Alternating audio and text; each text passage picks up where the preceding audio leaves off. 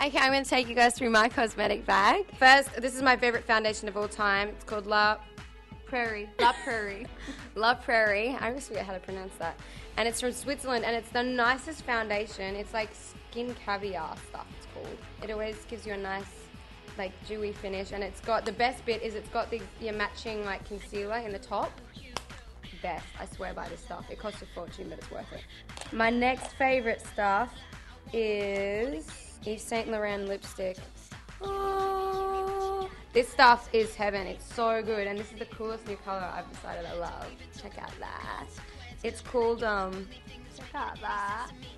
I don't know what it's called, but I like to wear this kind of color on stage or red carpet, something It's a bit brighter. And then this is like a little mini lipstick, so cute. And this is a little bit more of a pretty shimmery color. Oh, this is the best liquid liner.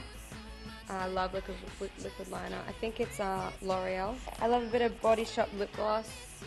This is just um, a yummy orange scent. I'm into orange at the moment. It's really good for flying.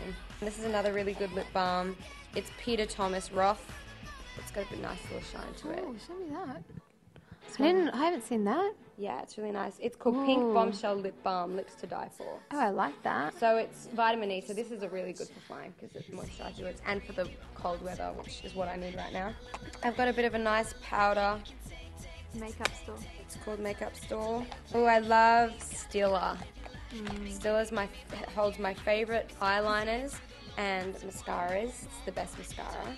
I've got some other really. I love Napoleon eyeliners. Can never have enough eyeliners.